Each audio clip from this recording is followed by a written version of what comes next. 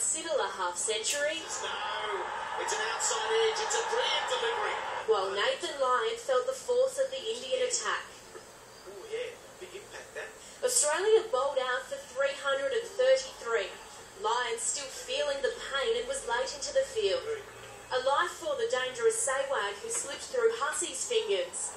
Oh, might have been a chance. The Indian opener then had a brush with Pattinson which threatened to turn ugly. Australia's mood improving when Hilfenhaus removed behind. A master of spin, Sehwag belted Lyon to bring up his half century. He threatened a much bigger score, dropped again on 55 until Pattinson fired back up. That brought Sachin Tendulkar to the crease. It's a little master. With Rahul Dravid a solid partner, the little master was flying toward a century of centuries. Oh, for Tendulkar as well. Siddle thought he'd finally broken the stand, only for Dravid to be called back for a no ball.